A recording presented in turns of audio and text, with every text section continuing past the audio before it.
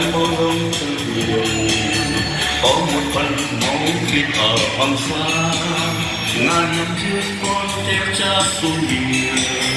mẹ lên rừng tôi nhớ mãi trường xa đất của quốc khi chợt chân bóng vàng mắt con lòng tao thức kia trường xưa vì tôi chưa một ngày yên ả lời cha dần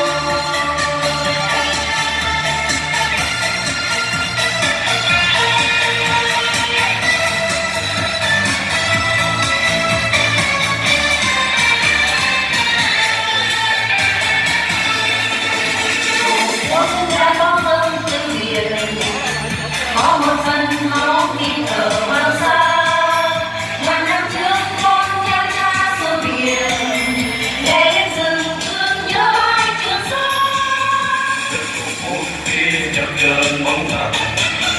các con nằm thao thức kia trường sơn biển tổ muốn chưa một ngày